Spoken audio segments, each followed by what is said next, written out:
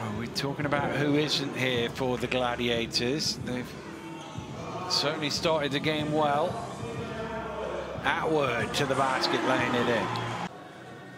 Scrappy play from uh, Plymouth in the first place, but they get away with it. It's Hart, sets his feet for three. Joe Hart all string.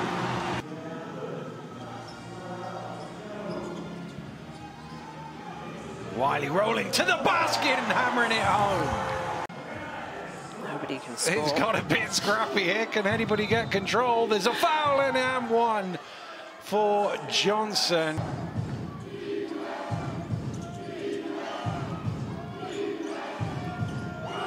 Bothwell for three. Did he get it away? Yes, he did, and he knocks it down. And Paul James, Levi comes up with it. Wiley along the baseline, gets it to go. Tremendous finish.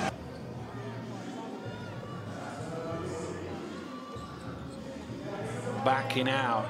It's Dusha for three. Nine points to start. It's nine here for Plymouth. Oh, nice little up and under. It's 11 now as Dusha drops it in. Alvisi turns the corner. Joe Hart. And it's all the former players that are coming back to haunt the Gladiators. They need a score. They need it quick. Bothwell driving through. This has to go in. And it does go in. Paliza with a big three. Uh, Phoenix and the Scorchers. Oh, an offensive rebound to boot. And Plymouth will run it out here and celebrate an excellent victory for them.